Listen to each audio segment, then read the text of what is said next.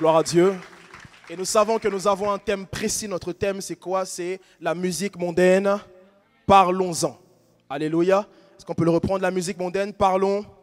Amen. Dis-le à ton voisin avec ton masque. Dis-le, la musique mondaine, on va en parler. Dis-lui en mode, euh, la musique mondaine, on va en parler. Gloire à Dieu. Dieu nous fera du bien et je prie vraiment à ce que vous puissiez être attentifs à tout ce que je vais dire. Alléluia. Euh, lorsque j'ai enseigné au premier culte, Dieu vraiment a été fidèle. Et je sais que dans tout ce que je vais dire, l'Esprit va vraiment ajouter une sorte de complémentarité à tout ce qui a été dit. Alléluia. Alors voici, nous parlons donc de cette fameuse musique mondaine. Ce qu'il faut comprendre, c'est quoi? Par rapport d'abord à la musique mondaine, il y a une grande controverse autour de ce sujet. Amen. Et surtout, euh, durant la période du Covid-19, du Corona et autres, il y a eu comme une sorte de, débat, du moins, il, y a eu un débat, d'accord, autour de la musique mondaine, une grande confusion. Certains vont dire non, on ne doit pas écouter de musique mondaine, c'est interdit, c'est contre la parole de Dieu. Et d'autres vont dire non, au contraire, on peut écouter la musique mondaine sous certaines conditions. Amen. C'est pourquoi lorsqu'on parle de certains sujets, c'est pas que ce sujet-là est tabou, juste il est controversé. Alléluia. Mais je prie que l'Esprit me donne la sagesse de vous l'apporter, non pas avec ma pensée, mais avec la pensée de l'Esprit de Dieu. Alléluia. L'objectif, lorsque nous parlons de la part de Dieu, c'est que les messages que nous sommes en train de donner viennent rejoindre une pensée christocentrique. Et nous l'avons vu dimanche dernier.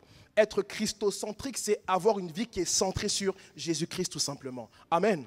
Amen. Alors voici, donc lorsqu'on parle de la musique mondaine, il y a une grande confusion et également une grande séduction autour de ce thème. Mais voici une chose, je vais aller étape par étape et à la fin, je prendrai même des questions. On a eu un temps de questions ce matin et Dieu a été encore glorifié. Alléluia. Alors on va aller point par point.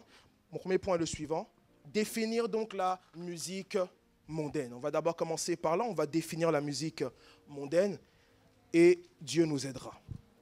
Alléluia. On va prendre trois versets, Jean 3, 16. Jean 3, 16, Ephésiens 2 du verset 1 au verset 3, et également 1 Jean chapitre 5 au verset 19. Alors celui qui a trouvé peut commencer, les frères, s'il vous plaît. Jean 3, verset 16. Ok, vas-y. Car Dieu a tant aimé le monde mhm. qu'il a donné son Fils unique uh-huh. afin que quiconque croit en lui ne périsse point, mais qu'il ait la vie éternelle. Ok. Quentin, s'il te plaît. Ephésiens chapitre 2, mhm. au verset 11. Verset 1. Verset 1. Vous qui étiez morts par vos offenses et par mhm. vos péchés, dans lesquels vous marchiez autrefois, selon le train de ce monde, selon le prince de la puissance de l'air, de l'esprit qui agit maintenant dans les fils de la rébellion, nous tous aussi, nous étions de leur nombre mhm. et nous vivions autrefois selon les convoitises de notre chair. Ok, très bien. Prenons ensemble 1 Jean chapitre 5 au verset 19. 1 Jean chapitre 5 au verset 19. Quand vous avez trouvé, dites-moi j'ai trouvé. J'ai trouvé. Ok, allez-y s'il vous plaît les frères. 1 Jean 5 au verset 19. Très bien. Nous savons que nous sommes de Dieu uh-huh. et que le monde entier est sous la puissance du malin. Ok, très bien. On a eu à prendre trois versets afin de comprendre ce que je vais enseigner maintenant. Voici. Lorsqu'on parle de la musique mondaine, comprenez que le mot musique mondaine est parfois mal compris ou mal utilisé. Alléluia. Pourquoi? Lorsqu'on parle de musique mondaine, de manière automatique ou instinctive, les gens se disent automatiquement musique mondaine égale le diable. N'est-ce pas? Lorsqu'on parle de musique mondaine, automatiquement on, passe, on pense pardon, effectivement à une influence satanique ou démoniaque. Mais voici, on a pu lire au niveau de Jean 3,16, la Bible dit que Dieu a tant aimé le monde. Mes amis, lorsque nous sommes en train de dire que la musique mondaine est forcément le diable, nous sommes en train parfois de pervertir la parole de Dieu.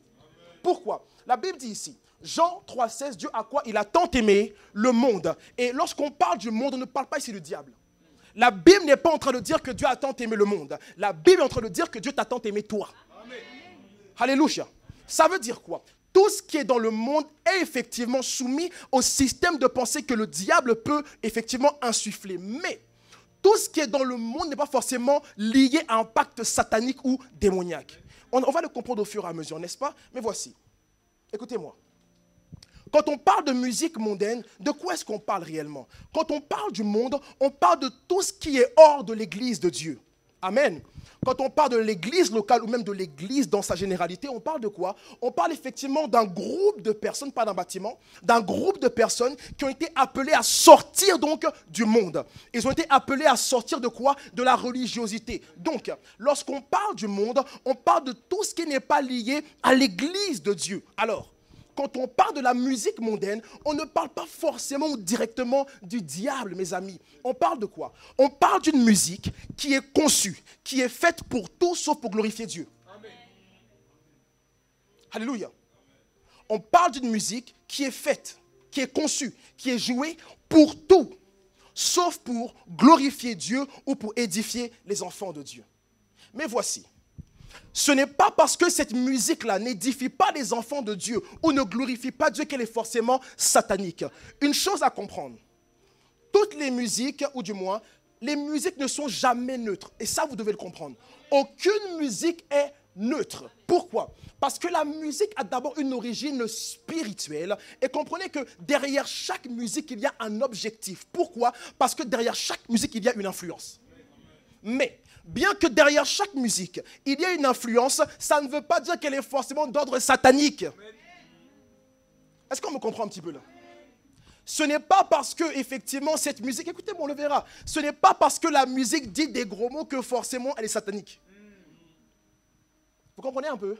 Donc, comprenez ceci. La musique mondaine, c'est une musique qui est conçue pour tout sauf pour glorifier Dieu elle n'adore pas le Seigneur, elle ne met pas en avant les valeurs euh, du moins du royaume de Dieu. Mais ce n'est pas à cause de cela qu'elle est forcément hum, satanique ou démoniaque ou dirigée par un esprit impur. Gloire à Jésus. Gloire à Jésus. Mais la musique a toujours une source et une influence. Amen.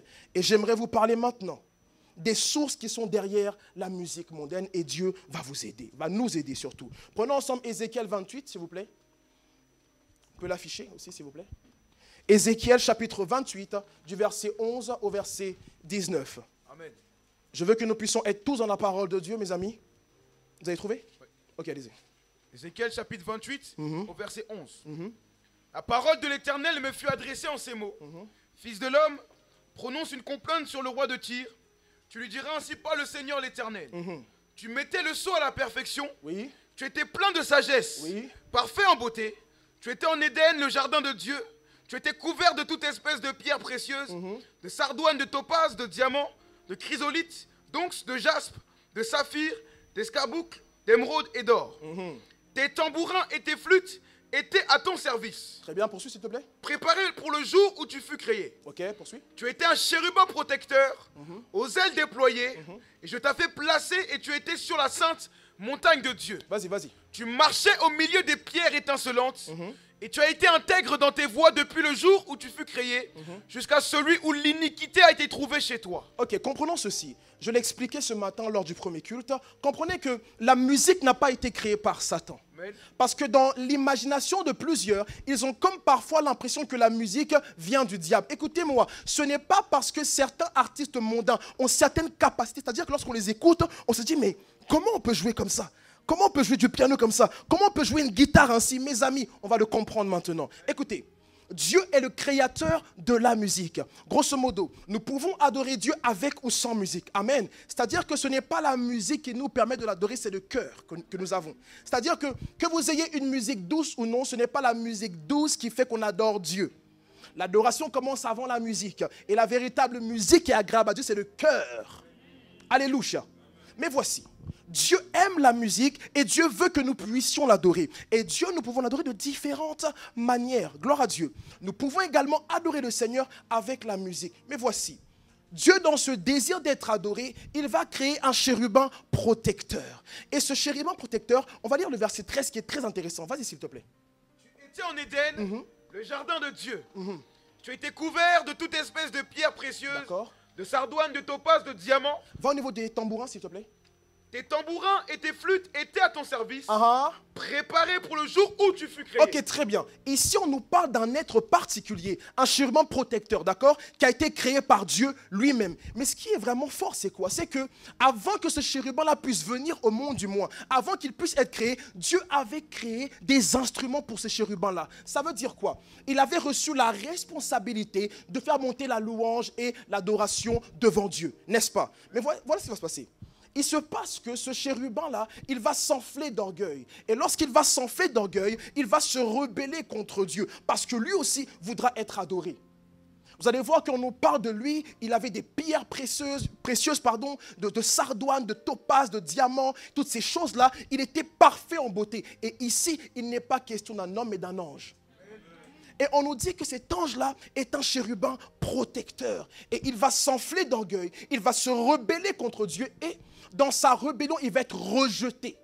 Grosso modo, lorsque Dieu l'a créé, Dieu l'a placé dans un lieu spécifique afin qu'il puisse faire monter la louange et l'adoration. Mais qu'est-ce qui se passe? Il se rebelle, Dieu le rejette. Et lorsque Dieu le rejette, il va emmener avec lui un tiers des anges du ciel. Alléluia. Mais voici, lorsque on parle du chérubin protecteur, nous savons tous ici qu'on parle effectivement du diable et de ses démons. Mais j'ai donné une image qui est intéressante ce matin. J'ai eu à leur dire ceci.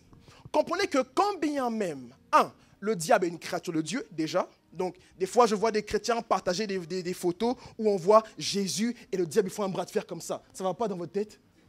Vous pensez vraiment, ils peuvent, eh. Et puis, on voit le diable, il est tout rouge, il fait... Ah. C'est absurde. Amen. Bref, le diable a été créé par Dieu, n'est-ce pas? Mais vous allez voir que lorsqu'il va être rejeté, il y a un élément important à comprendre. Le diable a perdu sa place, mais il n'a pas perdu ses dons. Amen. Il va perdre sa place, mais il ne perd pas ses dons. Et j'ai pris une image du football, d'accord? On peut même parler d'une série. Ok. D'abord pour les hommes. Imaginez Cristiano Ronaldo, les gars.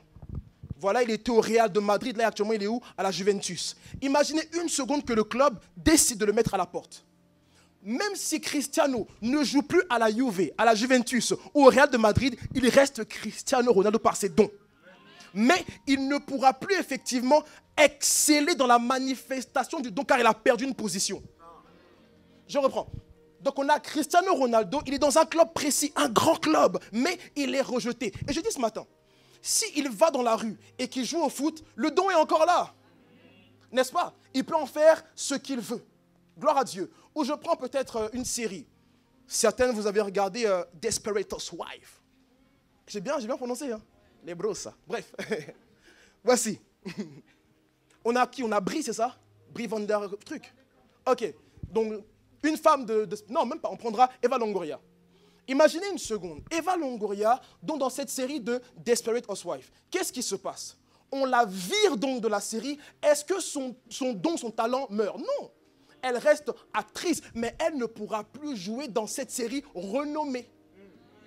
Et ce que le diable a expérimenté, c'est perdre sa position en gardant ses dons. Et regardez au verset 13 au niveau des tambourins, il disait quoi? Tu étais en Éden, le mhm. jardin de Dieu. Mhm. Tu étais couvert de toute espèce de pierres Tes tambourins, tambourins tes tambourins et tes flûtes étaient à ton service. Mhm. Préparez-le pour le jour Écoutez-moi, euh, la Bible n'a pas dit ici que les tambourins et les flûtes étaient au service de Dieu. Ils ont dit tes tambourins et quoi? Et tes flûtes étaient quoi? À ton service. À ton service. Ça a été créé pour lui. Ça veut dire quoi? Quand bien même il a été rejeté, mes amis, son niveau de connaissance musicale dépasse Beethoven, Mozart et tous ces grands hommes-là. Parce que là où lui il a appris la musique, ce n'était pas sur la terre. Yes. Le diable, Lucifer, n'a pas appris la musique euh, de Rémi, non. Les notes que lui connaît, c'est des notes que même l'oreille n'a pas encore entendues. Est-ce que vous comprenez un peu ce que je veux dire? Alors, quand bien même il a été rejeté, il n'a pas perdu ses dons. Et c'est pourquoi la musique mondaine, donc mon premier point, peut être influencée par le diable et ses démons. Alléluia. Mais j'aimerais maintenant vous dire comment est-ce que le diable influence la musique mondaine. Gloire à Jésus. Comprenez qu'il va influencer la musique parce que lui aussi veut être adoré. De la même manière que nous pouvons adorer Dieu de différentes manières, lui aussi veut être adoré de différentes manières. Alléluia. Gloire à Dieu. Lisons Matthieu chapitre 4, verset 8. Matthieu 4. Matthieu 4 au verset 8. Vas-y. Le diable le transporta encore sur une montagne très élevée. Oui. Lui montra tous les royaumes du monde et leur gloire. Mhm. Et lui dit Je te donnerai toutes ces choses si tu te prosternes et m'adores. Ok, relis avec plus de vie, s'il te plaît. Matthieu 4, verset 8. Mhm. Le diable le transporta encore sur une montagne très élevée. Oui. Lui montra tous les royaumes du monde et leur gloire. Mhm. Et lui dit Je te donnerai toutes ces choses si tu te prosternes et m'adores. Écoutez, lorsqu'on est en train de dire que certains artistes mondains sont des satanistes, il faut d'abord comprendre comment ça se passe. Amen. Dans le sens où le diable peut influencer donc la musique mondaine, mais en faisant quelque chose de précis. Vous allez voir que dans Matthieu 4, verset 8, euh, le diable va s'approcher de qui? Du Maître Jésus, n'est-ce pas? Et lorsqu'il va s'approcher du Maître, il va dire quoi? Relis encore une fois. Le diable le transporta mhm. encore sur une montagne très mhm. élevée, lui montra tous les royaumes du monde et leur gloire, et lui dit, je te donnerai toutes ces choses si tu te prosternes et m'adores. Au verset 9, il dit, je te donnerai cela si. Le si veut dire quoi? Le si, ça parle d'une alliance. Dans le sens où un artiste mondain ne peut pas devenir sataniste sans faire une alliance. Ça veut dire, vous voyez comment c'est particulier? De la même manière que Dieu fait alliance avec Israël, il fait alliance avec nous autres. Le diable aussi veut travailler sur base d'alliance. Quel copieur Ah là là. Alléluia. Vous allez voir que lui aussi veut faire une alliance. Il va se présenter au Seigneur, il va dire, si tu veux toutes ces choses-là, il y a effectivement une alliance à faire. Ça veut dire quoi? Du moins tous les artistes mondains qui donc sont des satanistes ont fait une alliance particulière avec le diable afin de bénéficier de la contrepartie qui est derrière le si. Et la contrepartie est bien souvent quoi? Euh, La célébrité, le succès, hmm, peut-être la popularité, l'argent, toutes ces choses-là. Mais en vérité, s'ils meurent, ils vont en enfer. Mais parlons un peu des alliances. Amen. Comprenez que pour faire alliance avec le diable, ces personnes doivent faire certaines choses. Et puis, pour paraphraser, lorsqu'ils font alliance avec le diable, comprenez que un ou plusieurs démons viennent habiter leur vie afin de les aider à chanter le nom, les valeurs ou les actions du diable. Écoutez-moi, s'il vous plaît. Je l'ai dit ce matin quand je préparais ce message, j'étais au, au, bureau et j'avais autour de moi des... Je, sentais comme des, forces démoniaques. Je sentais comme des, esprits impurs qui venaient me perturber pour pas que je continue le message. Alors s'il vous plaît, écoutez-moi. Amen qu'est-ce qui se passe? Pour que ces personnes-là puissent effectivement glorifier donc le nom euh, euh, euh, du, diable plutôt, il va leur envoyer quoi? Des esprits impurs, un ou plusieurs esprits. Pourquoi? Je l'avais dit que comprenez que le diable n'est pas omniprésent, n'est-ce pas? Il ne peut pas être partout à la fois. Alors il va utiliser les esprits impurs qui sont à sa disposition, qui sont quoi? Le un tiers des anges déchus. Amen. Et qu'est-ce qui se passe? Lorsque le diable veut influencer euh, la musique mondaine, il va faire des alliances. Et dans ces alliances-là, qu'est-ce qui se passe? Il va peut-être demander à certains de sacrifier leurs parents. Certains, pour faire un pacte, ont dû sacrifier des membres de leur famille. D'autres encore. Et comprenez qu'il n'y a pas une manière pour faire un pacte avec lui. Ça veut dire que certains ont fait quoi? Ils ont sacrifié leurs parents. Certains ont sacrifié, je ne sais pas, un collègue. D'autres ont dû être des pédophiles. D'autres, effectivement, ont dû d'abord violer. Certaines personnes, ils ou elles ne pouvaient pas avoir la gloire sans avoir d'abord exposé leur nudité. Kim Kardashian. Ils ne pouvaient pas effectivement être, vus, être mis en avant si quelque part ils ne faisaient pas du moins une œuvre qui vient glorifier le diable. Et certains leur a demandé, ok, tu veux être connu? Et le gars est marié, hein. on lui dit, tu veux être connu, ok. Chaque samedi, excusez-moi, chaque samedi à 23h, tu dois avoir un rapport avec moi. Et c'est un homme qui dit ça à un autre homme. Et pour la gloire, il l'accepte. Est-ce que vous comprenez? Est-ce que vous me comprenez? J'ai écrit aussi d'autres choses. Donc, ils vont faire quoi Des sacrifices humains? Certains vont sacrifier leur famille, d'autres vont vendre leur âme sur base d'un pacte de sang. Également, pour certains, on leur demande l'inceste ils doivent avoir un rapport sexuel avec un membre de leur famille pour être élevés. Mes amis, nous ne savons pas dans quoi, effectivement, on met les pieds lorsqu'on écoutait ces choses-là autrefois. Alléluia. Et d'autres également doivent rentrer dans quoi? Dans des sectes. La franc-maçonnerie, la rose-croix. D'autres doivent se revendiquer satanistes. C'est pourquoi on va se rendre compte ici, dans la fin des temps, on le voit déjà, plusieurs n'ont plus honte de dire clairement qu'ils sont satanistes. Les amis, ce n'est pas du jeu. Le monde est spirituel. Alléluia.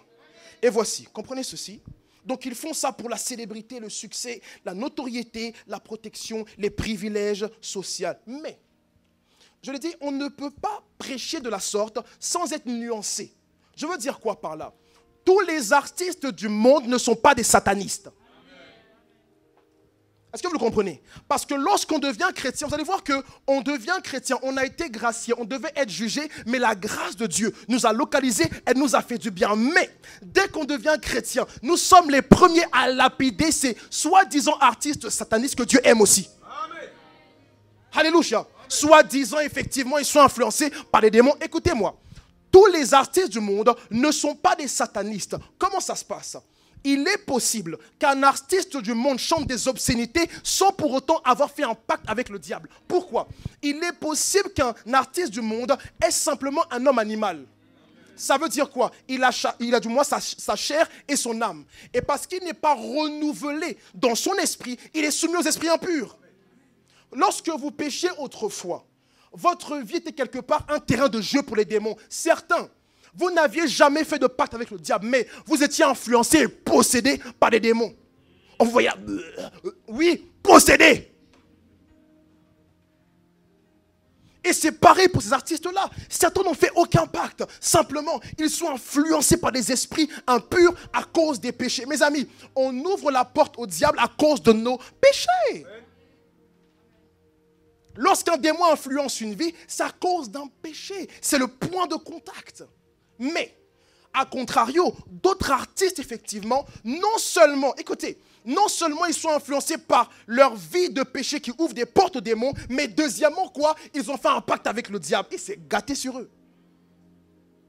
Alléluia. Non seulement ils ont d'abord une nature adamique, c'est-à-dire ils n'ont pas euh, euh, leur esprit renouvelé, ils ont seulement le corps et, et l'âme. Et cette chose-là, donc, les pousse à vivre selon la chair. Selon, on dit quoi Galates 5, verset 16, n'est-ce pas? Vous allez voir que l'un des premiers désirs de la chair, c'est quoi? C'est l'impudicité. Mais il n'y a pas de démon derrière, forcément. Et ce gars-là, donc, vit selon sa chair, selon ses convoitises. Et qu'est-ce qui se passe? Un esprit entre dans sa vie. Alléluia. Mais d'autres, au-delà de ça, ils vont aller faire concrètement un pacte avec le diable. Et j'aimerais donner effectivement le nom de certains artistes qui, qui ont confessé clairement être habités par des esprits impurs. Amen. Ce n'est pas une grande liste, calmez-vous. On veut tout savoir, calmez-vous. Ce n'est pas un cours de démonologie. On veut savoir, pasteur Bouba, calme-toi. Il y a ta ta grand-mère là, il faut, faut prier pour elle aussi. Toujours c'est les autres. Non, arrêtez ça. Mais on en parlera plus tard. Écoutez, il y a un artiste français que vous connaissez peut-être sûrement, c'est un rappeur, il s'appelle SCH. Dans une interview, écoutez-moi, il va venir dire que non, SCH est en moi. Et quand il sort, il sort.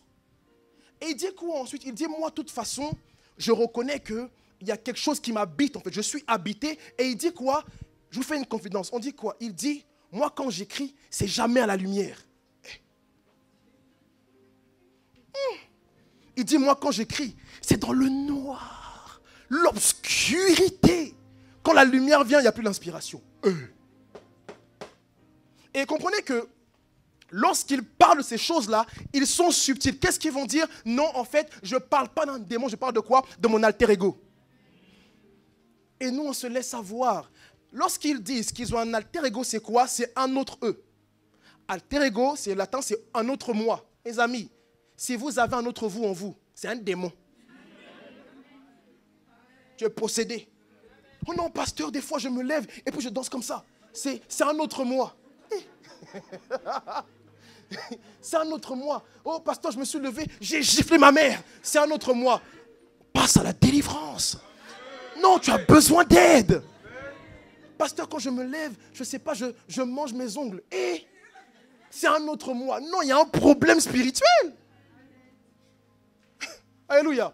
Et il camoufle cela sur base de quoi? Non, c'est un alter ego. Nous avons encore cette sœur, ou du moins cette femme plutôt, Nicki Minaj.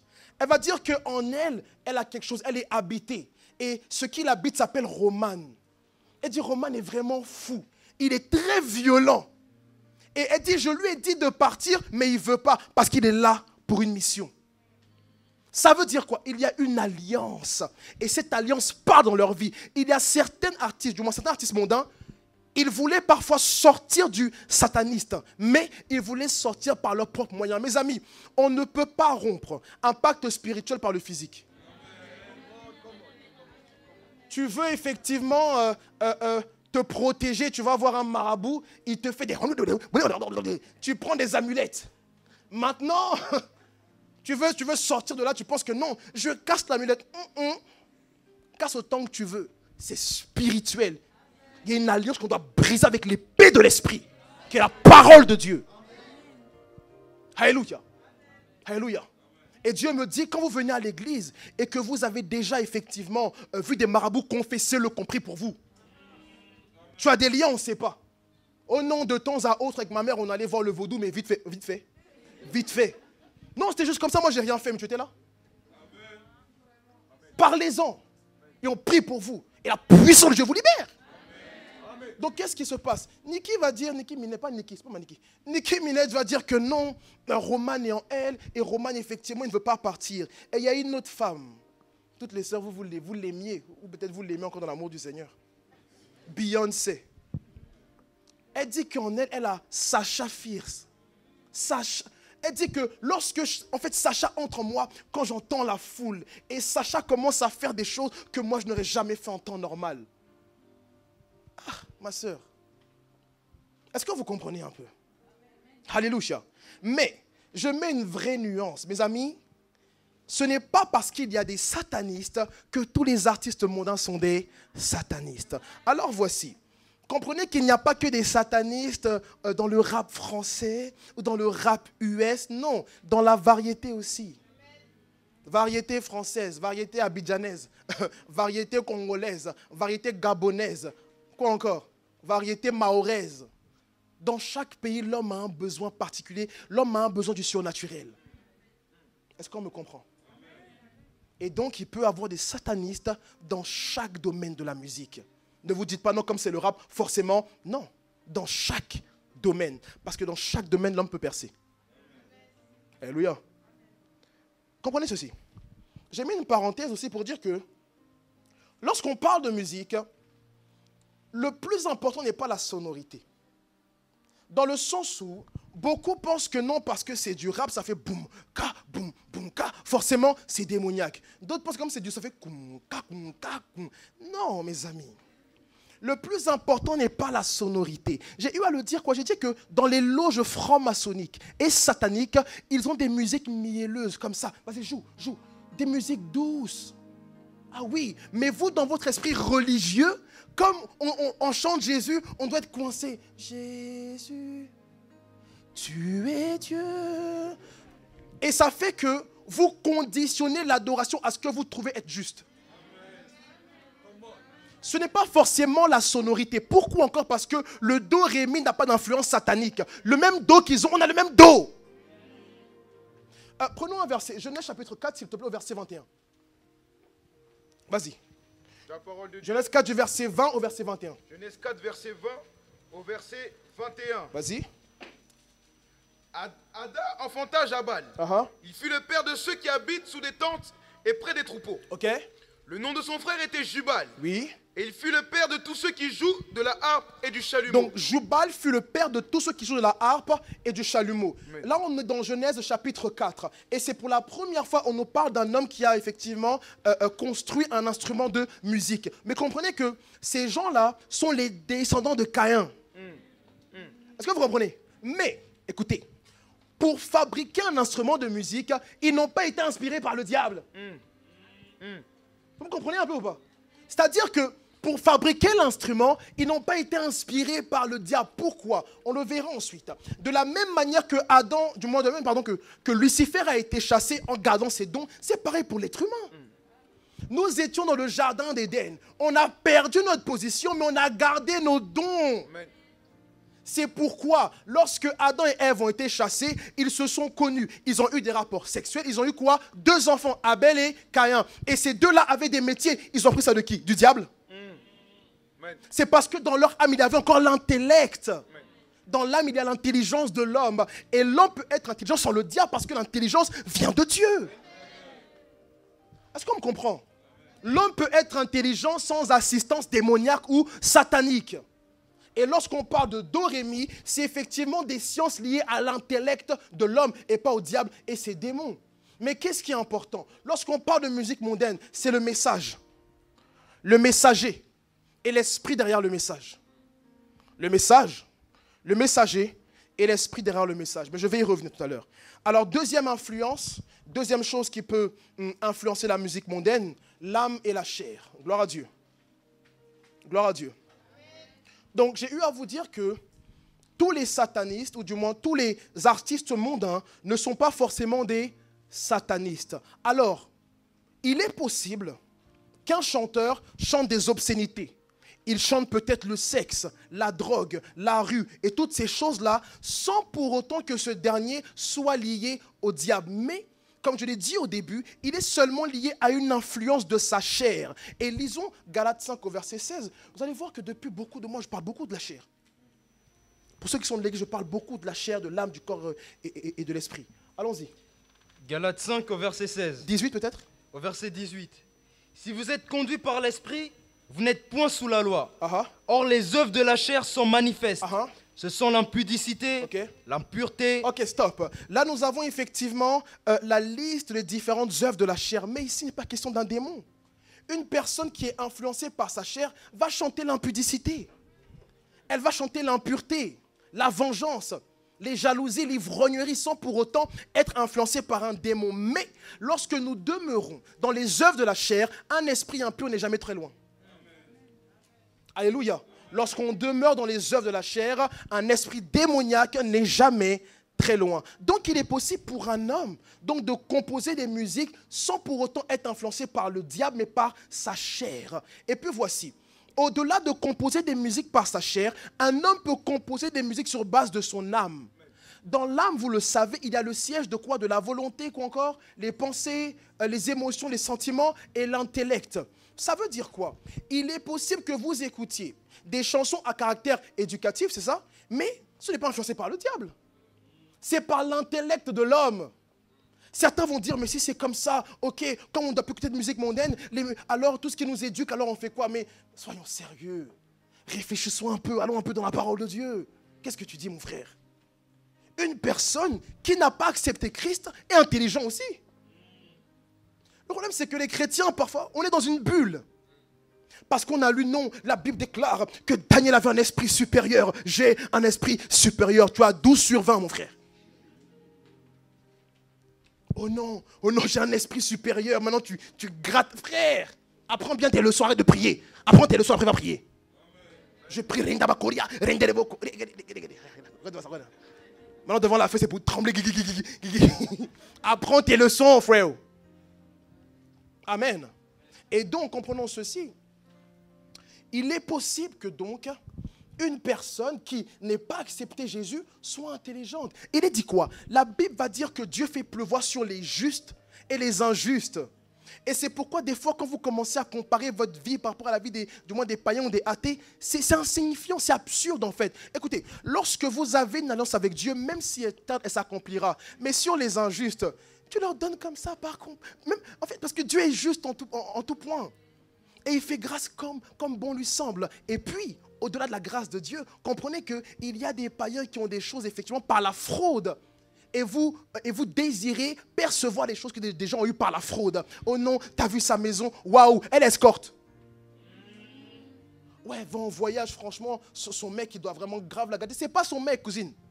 C'est grave pas son que mec. Alléluia. Appréciez votre vie et craignez Dieu. Et donc, il est possible, comme je l'ai dit, qu'un païen puisse créer une musique à caractère d'éducation. Mais il n'est pas influencé par un démon. Et vous devez le comprendre, on doit être nuancé par rapport à cela. Gloire à Jésus. Amen. Acclame Dieu très fort, s'il te plaît.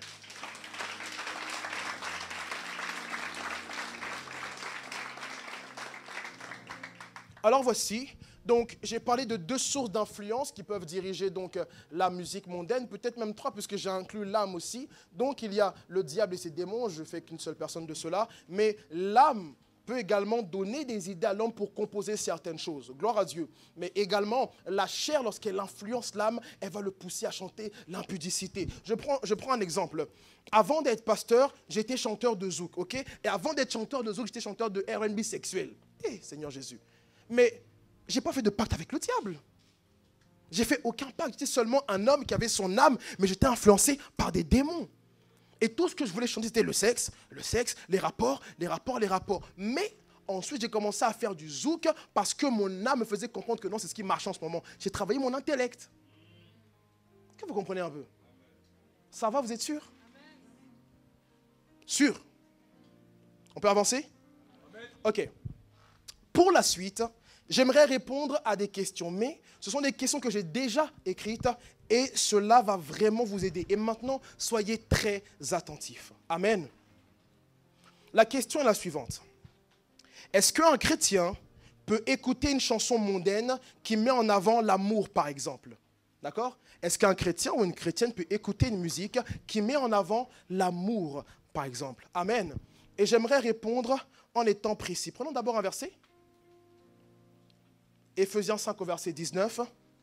Et Julien prend Philippiens 4 au verset 8. Quentin, Éphésiens 5 au verset 19. Et Julien, Philippiens 4 au verset 8. Quentin, vas-y. Éphésiens 5, au verset 19. Mhm. Entretenez-vous par des psaumes, par des hymnes, par des cantiques spirituels, mhm. chantant et célébrant de tout votre cœur les louanges du Seigneur. Mhm. Rendez continuellement grâce pour toutes choses à Dieu le Père, au nom de notre Seigneur Jésus-Christ. Ok, très bien, Philippiens 4, 8. Philippiens 4, verset 8. Au reste, frère, que tout ce qui est vrai, tout ce qui est honorable, tout ce qui est juste, tout ce qui est pur, tout ce qui est aimable, tout ce qui mérite l'approbation, ce qui est vertueux et digne de louange, soit l'objet de vos pensées. Très bien. Maintenant, écoutez-moi, s'il vous plaît. Donc, est-ce qu'un chrétien peut écouter une musique mondaine qui parle simplement de l'amour, de la paix et toutes ces choses-là? Alors, voici. Avant de répondre à la question, j'aimerais d'abord faire une grande différence. Alors, c'est une révélation que l'Esprit m'a donnée et je vous partage. Amen. Voici. Il y a une différence entre entendre, écouter et consommer. Il y a une différence entre entendre, écouter et consommer. Et parlons d'abord de entendre. Comprenez ceci. Lorsqu'on parle d'entendre, je veux dire quoi par là? C'est lorsque vous écoutez une musique indépendamment de votre volonté. Je veux dire quoi par là? Tu vas à la salle de sport, tu vas au restaurant, tu vas où ça Dans un magasin, ou des fois même tu marches dans la rue et tu as un gars dans sa gova, il met de la musique à fond. Et tu entends cette musique-là, mon frère. Pourquoi vous commencez à paniquer? Certains, je l'ai dit, vont commencer à se repentir. Oh Seigneur, je te demande pardon, la musique peu. Calmez-vous, qu'est-ce qui se passe? Et ça fait que nous sommes des chrétiens paranoïaques. Une vie spirituelle qui fait peur. Un Dieu qui a une grosse barbe, il trop comme ça, tu vas voir. Ce n'est pas le Dieu que je sers. Effectivement, nous devons craindre Dieu, mais Dieu est avant tout amour. Et vous allez voir que quand je parle d'entendre, c'est lorsque tu vas entendre une musique indépendamment de ta volonté. Mais ce n'est pas parce que tu l'as entendu que tu as péché. Vous comprenez ce que je dis ou pas? Tu es dans la rue et tu as un gars, voilà, il est dans sa voiture et il met voilà, du booba à fond. Et toi, tu aimais booba avant, d'accord? Et tu entends la musique. Pourquoi tu te repens? Qu'est-ce qu'il y a? Tu commences à paniquer, non euh, euh, Qu'est-ce qui se passe? Calme-toi. Zénifie-toi un petit peu. La vie chrétienne, ce n'est pas comme ça. Donc lorsque j'entends, cela ne dépend pas de ma volonté. Si tu veux, tu peux te repentir, mais en vérité, ce n'est pas vraiment nécessaire. Si tu veux, tu le peux. Mais ne tombe pas dans la paranoïa. Amen. Ça, c'est entendre. Et j'aimerais parler maintenant de écouter. Écoutez-moi. Lorsqu'on dit écouter, écouter c'est quoi? Écouter c'est prêter l'oreille en étant plus attentif à ce que j'entends. Écouter, c'est prêter l'oreille en étant plus attentif à ce que j'entends dans le but de quoi? De jauger, juger si j'apprécie ou non. Entendre, c'est quoi? C'est lorsque j'entends par inadvertance, d'accord? Je ne l'ai pas choisi. Mais écouter, c'est que lorsque j'entends cette musique, je vais commencer à m'y intéresser je vais tendre l'oreille afin de voir si j'aime ce style ou si j'aime cette musique. Alors voici, dans ce genre de cas, qu'est-ce qui se passe? On va procéder sur base du tout est permis, mais tout n'est pas utile. Je veux dire quoi par là? Si on prend deux chrétiens, en fonction de deux chrétiens, l'un va dire j'écoute pas du tout. Et l'autre va dire j'écoute et je passe à autre chose. Est-ce que vous comprenez? L'un va dire, ok, bon, bon je, je, regarde peut-être euh, le nouveau clip de Aya Nakamura. Elle a sorti un clip et tout, et je clique, et je, clique, pardon, et je regarde. Ah, pas mal le clip, ça va. Ah, toujours elle est, habillée comme ça, elle. Hmm. Ok, bon, bref. Mais un autre, il va voir effectivement qu'elle a fait un nouveau clip et il décide donc de ne pas regarder. Et dans ce genre de cas, cela est lié seulement à la conviction personnelle et à la relation que chacun a avec Dieu. Moi, je ne peux pas vous dire, non, moi, le pasteur Axel, c'est sûr, je ne pas regarder. Ça, c'est moi, par rapport au désir profond que j'ai de faire toutes choses comme Christ. Mais dans la vie chrétienne, on n'est pas tous dans le même processus. Je peux t'exhorter à, mais tu as le libre arbitre. Le problème qu'on a fait souvent à l'église, c'est de dire aux jeunes, faites-ci, faites pas, faites-ci, faites pas. Ce n'est pas la nouvelle alliance ce n'est pas la nouvelle alliance. Dans la nouvelle alliance, mes amis, vous êtes responsable de vos actions. Il rendra à chacun selon ses œuvres. En tant que prédicateur, on met au devant de vous la vérité de la parole de Dieu. Donc, un chrétien peut dire non, moi je n'écoute pas, c'est catégorique. Même si le but c'est quoi? C'est écouter et passer à autre chose. Lui dit non, je n'écoute même pas, nada, niet, je ne veux pas. Et ceci est lié à la relation que chacun a avec Dieu. On peut tous faire semblant ici. Chacun fera, ah, vas-y, j'écoute pas, vas-y. Moi, rebrakara, j'écoute pas. Mais le soir dans son lit, vers deux heures quand il galère, quand il ne sait pas quoi faire, frère, quand il est là comme ça, il va commencer à cliquer des grands clips. Ouais, le, le protocole du pasteur, il est là. Ouais, il est pas mal son clip, hein. Elle a bien fait. Vas-y, se passe à autre chose, je vais prier maintenant. Mais d'autres, effectivement, là, ils vont avouer que oui, c'est vrai que parfois, j'ai eu à regarder des, des, des, clips mondains que je n'avais plus regardé autrefois, mais euh, je ne consomme pas. Et c'est là maintenant on parle de consommation. Donc entendre, c'est quoi? Entendre, c'est lorsque voilà, j'entends cette, cette, musique par inadvertance, indépendamment de ma volonté. Mais lorsqu'on parle de écouter, c'est prêter l'oreille afin de jauger, juger si j'aime ou pas. Ok. Mais consommer, c'est quoi? Consommer, c'est lorsqu'effectivement, j'ai écouté et après avoir jaugé, j'apprécie. Et quand j'apprécie, je prends la décision de réécouter soit toute la journée, soit plusieurs fois ou sur une durée indéterminée. C'est-à-dire euh, entre, entre deux singles de Rabbi le Prince, j'ai mis Dadju. Entre deux singles effectivement de Axel Levy, oui c'est moi par la grâce de Dieu, je, je, mets quoi? Je mets, je mets Singila. Amen. Parce que je commence maintenant à consommer. Consommer, c'est quoi? C'est lorsque je vais lier régulièrement mon âme à ce type de musique. Mais c'est différent d'entendre. C'est différent, non? C'est différent d'entendre, c'est différent d'écouter. Mais l'écoute peut pousser à la consommation. L'écoute peut pousser à la consommation, mais je ne peux pas vous dire qu'effectivement, chez tout le monde, l'écoute pousse à la consommation.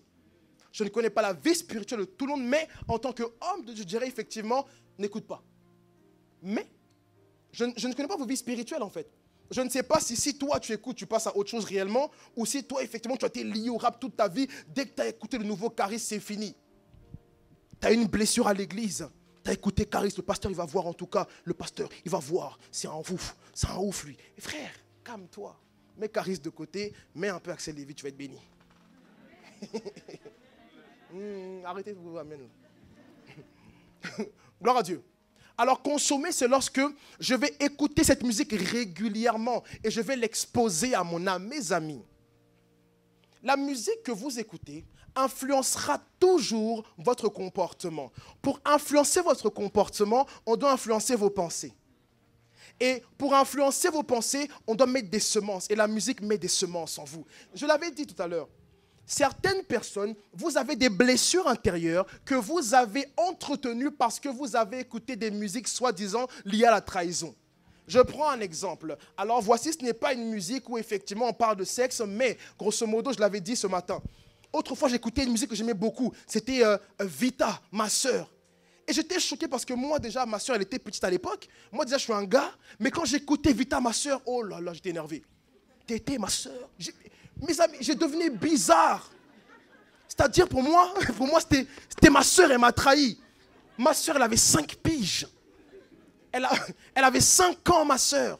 Et j'écoute ça en mode. euh, tu vois, genre, je vais en découdre.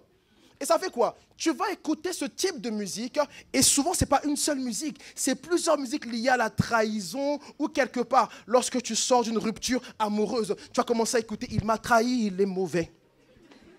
Il m'a trahi, il doit souffrir.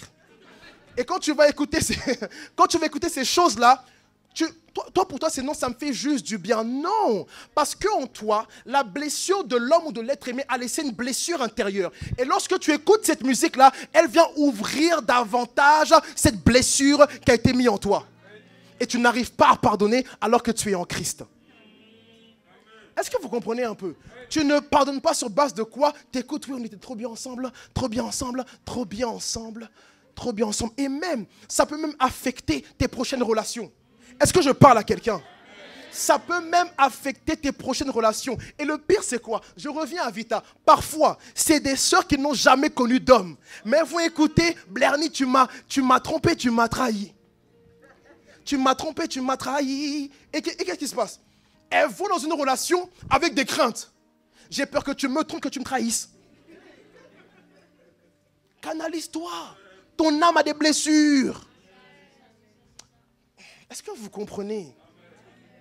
Ton âme a des blessures et ces musiques-là viennent accentuer les blessures dans ton âme, ma soeur, mon frère. Ou alors, je l'ai dit ce matin, je parle beaucoup de ce matin car c'est l'école du matin. Le rap, par exemple, après je répondrai à la question. Certaines personnes, lorsqu'ils écoutent du rap, nous on écoutait pour être énervés. Et je l'ai dit ce matin, un jour on allait en descente.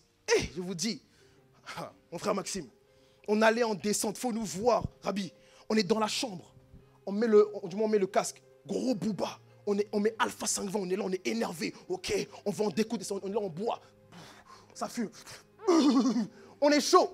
Qu'est-ce qui se passe? On était quatre personnes. On sort maintenant, on va en découdre avec les gars, on y va et tout. On, on prend des quoi On prend des petits couteaux et tout. On y va, on y va. Mais mes frères et sœurs, donc la musique a conditionné mon âme. Qu'en gros, moi, je suis un gars de la rue, je suis un gars, j'ai des biscottos. J'avais rien. Il n'y a pas de biscottos, il n'y a pas de... Vous allez me taper là-bas. Donc on y va, on marche, on y va, on y va, on est content. Et ils sont là, les gars, ils disent, ouais, t'inquiète, Axel, on va se le faire, t'inquiète, poto, on va se le faire et tout. Ils sont tous zélés, tous zélés comme d'habitude. On arrive là-bas, c'est un guet-apens. Qu'est-ce qui se passe?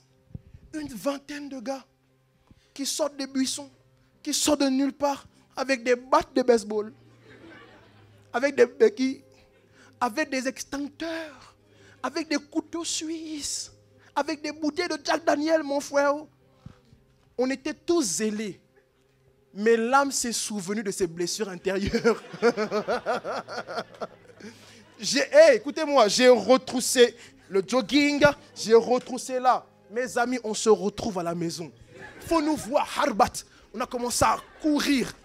Courir. Tu cours, tu ne rentres pas derrière toi. Tu peux tomber. Et ce matin, je leur ai dit, je leur ai montré la manifestation de Kirikou adulte. Mes amis. Pouah. Tac. Mais tu regardes pas. Non. Ils ont attrapé l'un de nous en plus. Ils l'ont tabassé. Il fallait, fallait le voir. Il revient à l'internat. Débat des boss. Des boss, boum, boum, boum. J'ai dit, hé mon frère. Et le pire, il fait quoi? Il met une casquette. Débat des boss, elle ressortent. J'ai dit, ça va frère? Je dis, ah ouais. Mais t'étais où? Je t'ai même pas vu. Ça commence à mentir. Mais t'étais pas à Flat 520 toi T'étais où frère? Je t'ai même pas vu. Ah ouais, c'est. Eh, vas-y, eh, ils font trop les fous là Non, ils font pas les fous. Ils font pas les fous. Il y a un gars, il disait, oui, on va y retourner. J'ai dit, ouais, t'inquiète. Hum. Dans mon cœur. Hum, Steve, qui, va retourner là-bas? Hum. Mais t'inquiète, vas-y, t'inquiète. Moi, j'ai des gars, je vais les appeler. J'ai appelé personne. Le week-end, rentré chez nous, j'ai éteint mon téléphone. Amen. Donc, c'est des musiques qui vous conditionnent. Là, j'ai parlé du rap monde, hein, pas du rap gospel, puisque le rap gospel est très bien par la grâce de Dieu. Je réponds à la question avec donc le dernier thème, donc qui est consommé. Est-ce qu'un chrétien peut consommer de la musique euh, qui chante l'amour, donc une musique mondaine qui chante l'amour, par exemple? Voici ma réponse. Je peux la donner? Est-ce que ça vous édifie? Est-ce que ça vous parle? Vous comprenez un peu mieux les choses? Ok. Moi, je dis et je suis en accord avec la parole de Dieu, un chrétien ne devrait pas écouter une musique mondaine qui met en avant un amour qui n'est pas biblique. Un amour qui n'est pas lié à ce que Christ nous a manifesté. Un amour qui n'est pas lié à ce que, effectivement, par exemple, 1 Corinthiens 13 nous enseigne. Pourquoi? Comprenez que j'ai eu à dire que tout ce que vous écoutez vous influence. Il est possible que cette personne-là chante seulement l'amour. C'est-à-dire, voilà, je l'aime, on s'aime, toutes ces choses-là. Mais lorsque tu vas y regarder de plus près, l'amour qui est manifesté n'est pas l'amour selon la pensée de Dieu. C'est un amour qui est très possessif, un amour qui est proche du pervers narcissique. Un amour qui fait peur, un amour qui cautionne qu'on peut te séquestrer. Mais non, c'est l'amour. L'amour véritable, c'est quoi? L'amour selon Dieu n'est pas l'à peu près de l'amour. L'amour selon Dieu, c'est la perfection de l'amour. Et Christ nous a montré la perfection de l'amour. Mais vous allez écouter certaines chansons. Et dans ces chansons-là, c'est vrai, il parle d'amour, mais des fois, c'est comme si l'homme ou la femme est placé devant Dieu. C'est comme si l'homme est au-dessus de Dieu. Tu es mon tout, tu es mon soleil. Sans toi, ma vie n'a pas de sens. Quoi? Sans toi, ma vie n'a pas de sens. Et non, je ne peux pas. Sans Jésus, ma vie n'a pas de sens. Sans l'Esprit de Dieu, ma vie n'a pas de sens. Certains ou non, quand je vais me marier, je sais que je serai comblé. Mes amis, dans le mariage, il y a des blessures intérieures. Oui, maman, c'est vrai ou c'est faux? Maman, c'est vrai. Il y a des blessures intérieures. Et toi, tu fais de ta femme ton Dieu. Imagine, elle te trompe. Ton mari te trompe, tu fais quoi? Ah, tu étais mon Dieu. Maintenant, il est qui? Ton démon. Vous voyez un peu de quoi je parle? Des musiques qui mettent en avant un amour qui n'est pas scriptuaire. Or, le véritable amour tire sa source de Christ. C'est parce que nous sommes en Christ que nous pouvons le manifester. Et l'amour selon Christ est patient. Il n'est pas envieux. Il ne cherche pas son intérêt. L'amour selon la parole de Dieu, c'est d'abord donner avant de recevoir. L'amour selon la parole de Dieu, c'est pardonner. L'amour pardonne tout, supporte tout. Tu sais aimer, toi? Et tu écoutes des musiques où, effectivement, c'est un amour très bizarre, un amour seulement humain et charnel. Alléluia. Et si cette personne met en avant un amour qui est en accord avec la parole de Dieu, ça ne suffit pas. Ah, ça ne suffit pas. Pourquoi? Le message est important, le messager aussi. Et j'ai pris un exemple. Voilà ce que j'ai dit. Vous allez voir que certains artistes mondains, qu'ils soient satanistes ou pas, ils vont chanter des chants toute l'année, des chants pervers. Des chants où voilà, tu whines, des chants où ça, ça twerk et tout, des chants où les filles sont nues. Et un jour comme ça, ils viennent big up, euh, du moins sur l'amour. Ils viennent, oui, tu es ma fleur de lys. Quand je te vois, tes cheveux caramel, colis, manque, passion, toutes ces choses-là. Et vous les sœurs, oh là là, oh là là. Mais, en tant qu'enfant de Dieu, au-delà de son message, on va regarder ses autres musiques aussi. Tu ne peux pas venir un jour comme ça, effectivement, tu chantes l'amour alors que toute l'année, sexe, drogue, alcool, adultère, oh non, c'est son côté fleur bleue. Je m'en fous de son côté fleur bleue. Et vous devez penser ainsi. Je prends un exemple. Vous connaissez Dadju? Ah, Vous connaissez Dadju? Ah, Dadju. Euh, euh, euh, quel verset, pasteur? Tu es un mytho. Ah, arrête, de, arrête de mentir. Arrête de mentir. Amen. Tu connais Dadju, arrête. Vous allez voir que la musique que Dadju fait, euh, euh, c'est un peu la musique de Singila d'autrefois. Et la musique qu'il fait, c'est quoi? C'est très particulier. Il se passe que il va chanter voilà des, chansons avec de l'amour et tout et tout, mais quand tu étudies un peu ce qu'il fait, il chante l'adultère, il chante la fornication, il chante les coups d'un soir, il chante toutes ces choses qui sont contraires à la parole de Dieu. Et tout d'un coup, il va chanter effectivement une chanson que beaucoup de sœurs ont appréciée. Et j'ai pris le temps d'étudier pour voir vraiment de quoi il parle, pour voir pourquoi les sœurs aiment ça. Il a dit qu'il est jaloux, faut les voir. Oh là là, j'aimerais trop un gars qui soit aussi jaloux. Est-ce que vous avez lu les paroles? Il met en avant le fait que lui, il a fait beaucoup de mal aux femmes. Et parce qu'il a fait beaucoup de mal aux femmes, il a peur que celle avec qui il est actuellement devienne son retour de flamme. Et il dit, à cause de ça, je suis jaloux. tu ne vas nulle part. Mes amis, c'est un pervers narcissique. Il va contrôler votre vie et vous détruire. Il va vous isoler. Oh non, c'est, l'amour de possession. L'amour possession. Il va t'isoler de tes parents, de ta famille. Et quand il va te quitter, tu n'auras plus personne. Tu m'as quitté, tu m'as trahi. Voilà. Donc toute l'année, chante un peu n'importe quoi. Et là, l'amour qu'il met en avant n'est même pas un amour christocentrique. Un amour où effectivement, oui, il faut être jaloux, il faut être possessif parce que, soi-disant, Dieu est jaloux. Mes amis, ça ne met pas en avant les valeurs du royaume. Alors rejetez de telles musiques. Écoutez, nous sommes dans un temps où il y a de la diversité dans le milieu chrétien. Il y a beaucoup de diversité, du rap, du zouk, du quoi encore, dites-moi, de la variété peut-être, de la salsa, du reggaeton, de la dancehall, mes amis, et des gens qui chantent avec l'Esprit de Dieu ces différentes chansons, du compas même. Alléluia. Et donc il va chanter jaloux et dans sa chanson, ce n'est pas l'amour selon Dieu. Et il y a, je reprends encore votre sœur, pas votre sœur, votre femme que vous aimiez autrefois, Beyoncé. Il y avait une chanson que j'aimais tellement, mon fils. Eux, J'écoutais, je pleurais. C'est quoi ça? Et à la cité, tu es là, tu es posé comme ça. Mais la veille, tu étais là. la comédie, hein. Et la musique, c'est quoi? C'est Dangerous in Love. Qui la connaît? Hmm. Et j'écoutais ça et les vibes, ça, ça me transperçait. J'étais là comme ça, je comprends même pas anglais. Et je suis là. C'est incroyable. Et j'ai un peu regardé les paroles. Et l'amour qu'elle met en avant, c'est glorifier trop l'être aimé. Elle glorifie trop l'être aimé. Tu es mon soleil, toutes ces choses-là. Et un amour qui, on ne sait pas s'ils sont vraiment ensemble, s'ils sont mariés. C'est très étrange, c'est ambigu. Mais nous, on se dit non, comme c'est l'amour qui est chanté, on peut écouter mes amis. Nous voulons la perfection de l'amour. Et pour certaines personnes, ils vont dire, mais vas-y, le pasteur, il abuse, moi je vais écouter, fais ce que tu veux. Je ne suis pas ton Dieu. Je te prêche la parole de Dieu. Mais, comprends ceci, tout ce que tu écoutes influence ton âme. Et si tu n'es pas conscient de ce que c'est que le véritable amour, tu ne pourras pas le manifester. Beaucoup de sœurs, pour vous, l'amour, pour certaines, l'amour c'est le sexe. À cause de votre passé. Les frères aussi, certains pensent que l'amour c'est le sexe.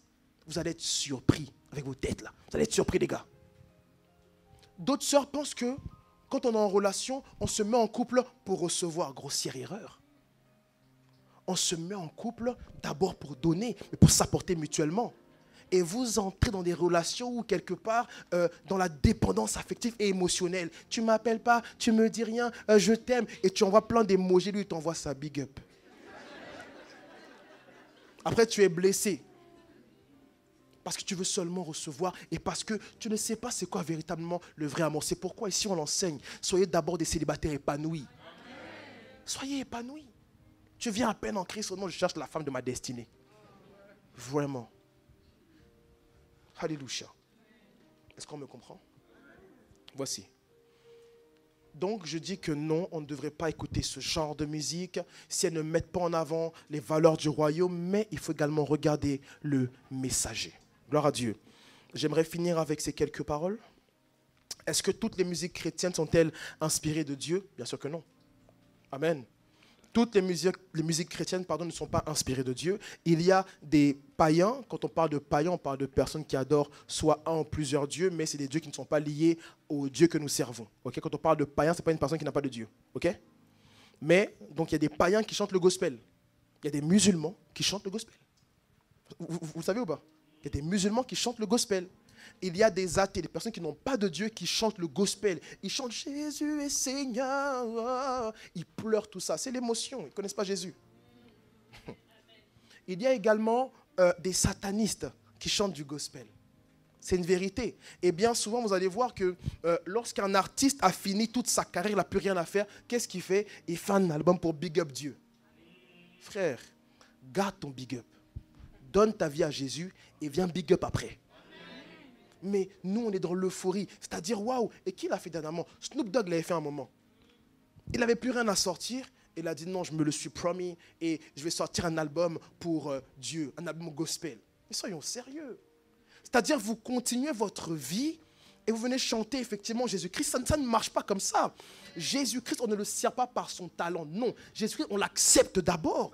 Celui qui chante Dieu, ou du moins le véritable Dieu de la Bible, doit être né de nouveau. Et il doit marcher comme un disciple du Seigneur. Alléluia. C'est pas non parce que j'ai la voix, je viens et je chante. Il y a une chanteuse, qu'est-ce qu'elle a fait? Vous la connaissez, mais je peux dire son nom. Chanteuse de Zouk. Elle a donné sa vie à Jésus. Directement, elle est allée en studio. Elle a chanté Jésus. Aujourd'hui, elle n'est plus en Christ. Elle a refait un clip mondain, mais laisse tomber le clip. Et ça fait mal parce que ce que Dieu veut d'abord, c'est votre cœur. Il veut votre vie. Mais on se hâte, d'autres vont se hâter effectivement à tout de suite prêcher sur les réseaux. Mes amis, c'est pas ce que Dieu veut. Il dit quoi? Il dit, il dit suivez-moi et je ferai de vous quelque chose. Je ferai de vous quoi? Des pécheurs d'âme. Mais suivez-moi, soyez mes intimes, mes amis. Écoutez, quand vous commencez dans la foi, cherchez à être des intimes de Dieu. Je ne dirai jamais assez, c'est l'intimité qui va vous aider à tenir bon mais c'est directement, je veux servir, je veux servir mes amis. Lorsque tu es intime, même si tu tardes à servir, tu finiras par le servir. Pourquoi? Parce que l'intime connaît le cœur de celui avec qui il est intime. Et quand je connais son cœur, il va quelque part me, me, me, conduire dans le domaine où je dois le servir.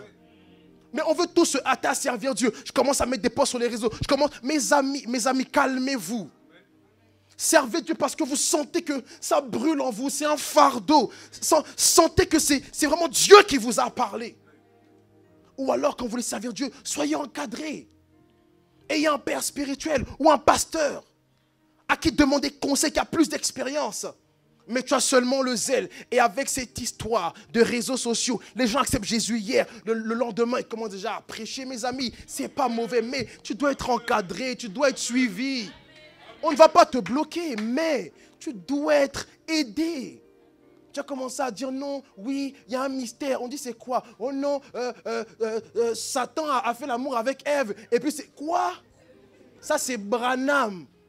Un enseignement démoniaque et satanique. La place de la femme, c'est... Hmm.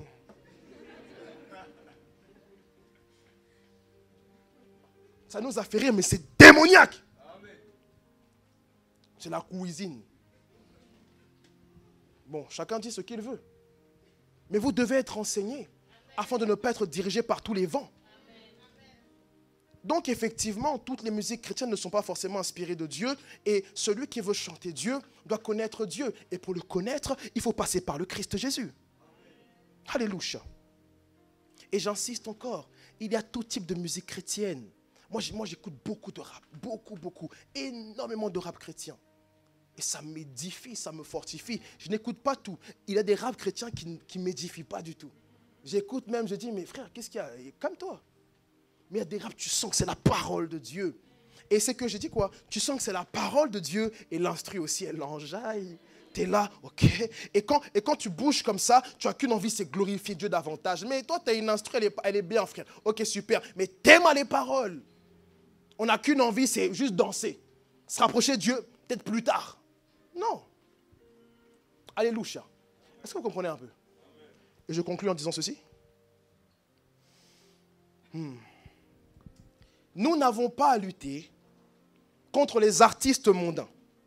Ils ne sont pas nos ennemis. Vous voyez comment j'équilibre un peu les choses? Vous n'avez pas à lutter contre les artistes mondains. Ils ne sont pas nos ennemis. Notre ennemi est le diable. Alléluia. Certains, lorsque euh, euh, je crois que c'était, comment il s'appelle? Euh, Didier Arafat est mort, faut les voir. Ils ont commencé à prêcher avec sa mort. Vous voyez, il est mort. On lui avait dit, mes amis, vous vous réjouissez de la mort de quelqu'un qui n'a pas pu accepter Christ? Et le problème, c'est que dans nos esprits, on en parlait avec mes leaders tout à l'heure, on parlait du fait que quand on vient en Christ, certains, on pense qu'on est mieux que les païens, on pense qu'on est mieux que les athées. On pense qu'on est mieux même que certaines personnes qui nous ont avoué leurs péchés. Mes amis, apprenez à vous examiner vous-même. Souvent, c'est que personne ne sait ce que vous faites dans le secret. Alors vous continuez à fanfaronner. Mais continuez et un jour, la chose sera dévoilée. Est-ce que vous comprenez? Un jour, cette chose-là sera dévoilée. Ayez un cœur humble. Paul va dire, euh, n'ayez pas une trop haute estime de vous-même. C'est-à-dire, voyez-vous comme étant quelque part le serviteur de tous et servez réellement tous ceux que vous pouvez. C'est le cœur du Seigneur. Alléluia. Autre chose, pour finir, on prendra ensemble Philippiens, en Éphésiens 4, verset 13 pour Quentin, et je finis par là, ensuite on va prier. Éphésiens 4, verset 13. Euh, Julien, prends-moi Philippiens 3 verset 8. On l'a déjà lu, je crois, Non? Philippiens 3, 8, allez-y. Et Ephésiens 4, 13. Je la parole de Dieu. Mhm. Éphésiens chapitre 4 au verset 13. Jusqu'à ce que nous soyons tous parvenus à l'unité de la foi Mhm. et de la connaissance du Fils de Dieu, à l'état d'homme fait à la mesure de la stature parfaite de Christ. Yes. Euh, Prends-moi, s'il te plaît, un verset qui me vient à cœur. Euh, euh, 1 Corinthiens, euh, chapitre 2, au verset 2. Vas-y, Julien. Philippiens 3 au verset 8. Ok. Et même je regarde toutes ces choses comme une perte à cause de l'excellence de la connaissance de Jésus-Christ mon Seigneur. Pour lequel... Relis, relis, relis, relis. Philippiens 3 au verset 8. Mhm. Et même je regarde toutes ces choses comme une perte à cause de l'excellence de la connaissance de Jésus-Christ mon Seigneur, pour lequel j'ai renoncé à tout. Je les regarde comme de la boue afin de gagner Christ. Alléluia. Lis 1 Corinthiens 2, 2. Car je n'ai pas eu la pensée de savoir parmi vous autre chose Hum, hum. que Jésus-Christ et Jésus-Christ crucifié. Écoutez-moi. Il est vrai que j'ai eu à mettre en avant le fait que la musique mondaine est influencée par plusieurs sources, n'est-ce pas? Et j'ai parlé des satanistes et d'autres choses. Mais voici, je l'ai dit au début. N'abandonnez pas la musique mondaine juste parce que vous avez peur. Euh, il est vrai que dans certaines situations, vous avez besoin d'avoir peur pour abandonner certaines choses. Ça, ça, c'est un peu la crainte, n'est-ce pas? Et parfois, la crainte est nécessaire, ok? Mais n'abandonnez pas la musique mondaine uniquement avec le fait que vous avez peur d'aller en enfer ou vous avez peur que les démons viennent le soir et puis font Amen.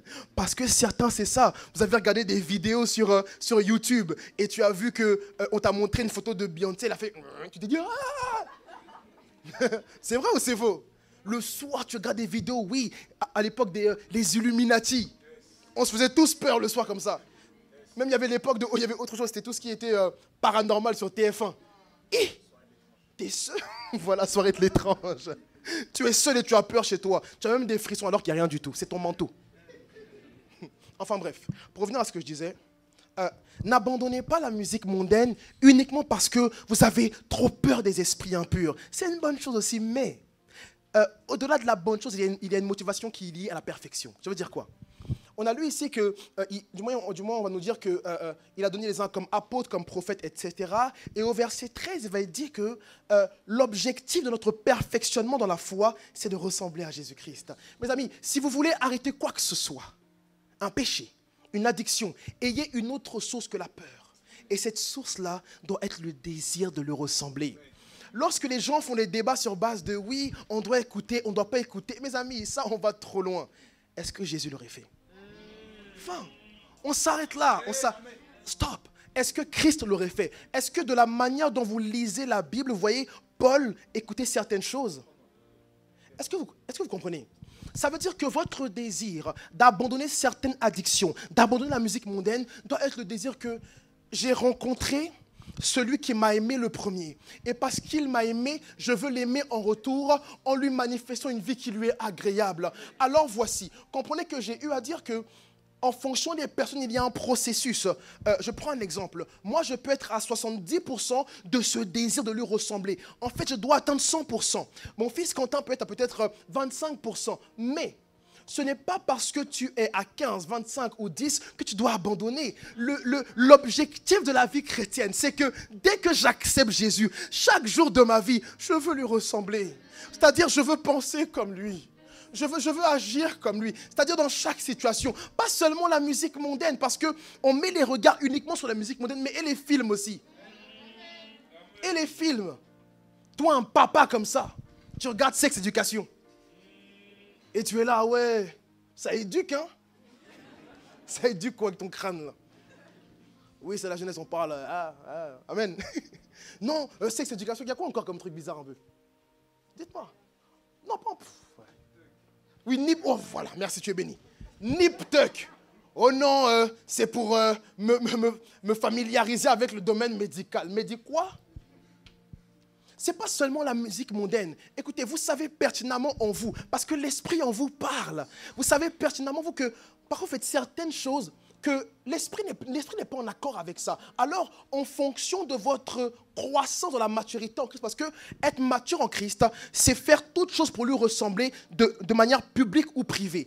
Être mature, c'est atteindre effectivement cette ressemblance qui est liée au modèle par excellence qui est Jésus-Christ. Alors, tout le monde n'a pas encore atteint cette perfection et on y court chaque jour par la grâce de Dieu. Mais, quand bien même tu n'es pas encore arrivé, frère, sœur, ça doit être ton désir, ça doit être ton sujet de prière. Père, je veux, te, ressembler à Christ. Saint-Esprit, c'est vrai, j'ai eu à faire des... Et mes amis, même si vous avez fait des fautes, vous pouvez toujours lui ressembler. Et lorsqu'on observe la vie de Pierre, Pierre a fait tellement de fautes. Cependant, ce qui a gardé Pierre, c'est le désir qu'il avait de lui ressembler. Mes amis, est-ce que réellement, au fond de vous, voulez-vous vraiment ressembler à Jésus-Christ?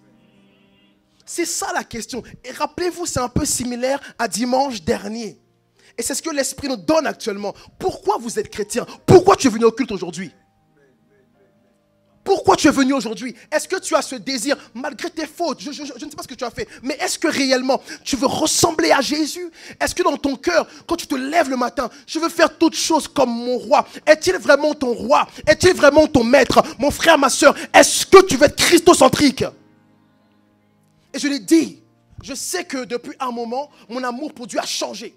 Je suis passé à un autre niveau et je le sais par la grâce de Dieu. Mais avant ça, j'ai vécu des moments difficiles qui auraient pu me faire abandonner la foi. Mais j'ai persévéré. Pourquoi? Parce que je sais qu'il m'a aimé le premier. Souvenez-vous de ça. C'est lui qui vous a aimé. Il dit, ce n'est pas vous qui m'avez choisi, mais c'est moi qui vous ai choisi. Et c'est lui d'abord qui a dit, je ne vous appelle plus quoi? Mes serviteurs, mais mes amis.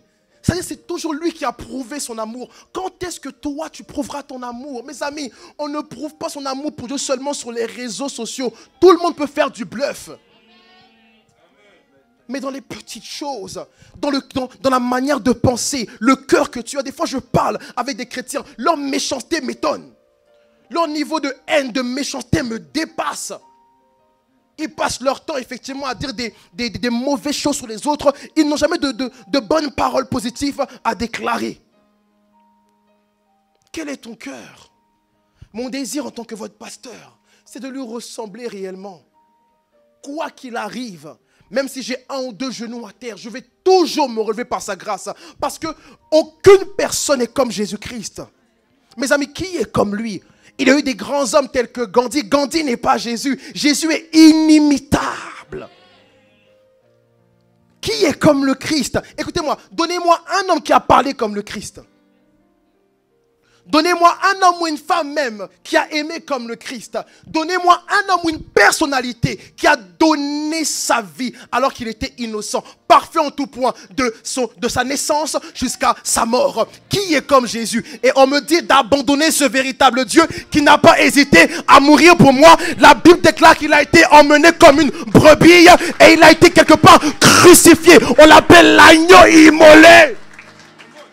Et à cause de quoi je vais l'abandonner? À cause de quoi? Même dans ma jeunesse, tu n'as pas besoin d'avoir beaucoup vécu pour t'accrocher à Christ. Et bien souvent, même quand on est jeune, on vit des atrocités. C'est le moment d'être vrai avec Jésus. Frères, sœurs, c'est pas seulement la musique mondaine. C'est tous les domaines de notre vie. Comment je me comporte envers ma femme, comment je parle à mon prochain, comment je prends soin de mes amis. Comment je gère mon argent? Est-ce que mon argent c'est que pour moi, mais c'est pour le royaume aussi? Comment je gère mes pensées? Comment je m'habille? Parfois, aucune prédication nécessaire. Juste écoute le cœur que tu as. Dans ton cœur, il y a l'Esprit de Dieu. Il te parle souvent. Mais souvent, tu ne veux pas écouter. Et comme tu ne veux pas écouter, tu as besoin qu'on te prêche. On te reprêche. Et bien sûr, la foi vient de ce qu'on entend. On va te prêcher, te prêcher, te prêcher. Mais peu importe ce que je dis ici, si toi-même, il n'y a pas un déclic, une décision de vouloir le ressembler, ça va être compliqué. C'est pourquoi j'ai dit ici, ici on a ce qu'on appelle les MDA, les ministères. Je leur ai dit, écoutez-moi très bien. Il est hors de question que je cours après un MDA pour qui prie, pour qui jeûne. C'est hors de question. Un MDA, c'est un, une personne qui sert en tant que chantre, en tant que euh, la caméra, photographe. Non, tu es conscient de ce que c'est que le service. Effectivement, tu peux avoir des fautes, il n'y a pas de souci. Mais courir après toi pour te faire prier, jeûner, non. Non, on peut t'aider à prier, jeûner, tout ça. Mais t'obliger, non. Vous ne pouvez pas obliger une personne à servir Dieu. Personne m'oblige à faire de culte. Personne m'oblige à prier, jeûner. Personne, si ce n'est l'amour que j'ai pour lui. Je ne veux plaire à personne d'autre en dehors du Seigneur Jésus-Christ. C'est vrai, je suis un être humain. Voilà, là, si je me suis mis comme ça, bon, c'est un peu pour plaire aussi aux gens qui me regardent. Mais je veux dire que la première personne à qui je veux plaire, c'est mon roi. Et vous devez penser comme ça. Ce que Dieu est en train de nous dire en ces temps de la fin, c'est ayez un cœur christocentrique. Ayez un cœur qui marche vraiment en accord avec sa parole. Ayez un cœur qui aspire à plus de lui chaque jour. Ne venez pas à l'église pour faire semblant, chauffer les bancs, péter sur nos chaises et puis repartir. Donnez vraiment votre vie au Seigneur. Et agissez, ils vont rigoler, mais agissez réellement avec ce désir-là de lui ressembler, s'il vous plaît. C'est le moment. Qu'attendez-vous? Ne soyez pas influencés par tout ce qu'on voit sur les réseaux. Il y a trop de comédies, trop de comédiens. Mais vous-même, personnellement, vous, ne sentez pas qu'il y, a, parfois plus pour vous spirituellement? Vous le sentez ou pas? Tu sens que il y a, y a, plus, mais, mais comment atteindre ce plus? Sois christocentrique. Pendant longtemps, je me disais, mais je, sens qu'il y a plus. Je ne parle pas de l'onction. C'est-à-dire, je, sentais qu'il y a plus. Et, ce plus, je l'ai trouvé. Il y a comme eu un, un déclic particulier dans mon cœur. Et dans ce déclic-là, que tu sois aimé ou pas, Jésus. On te trahit ou pas Jésus. Ami ou pas Jésus. Vous avez besoin de cela pour combattre le bon combat de la foi. Amen. Acclamons Jésus très fort, s'il vous plaît.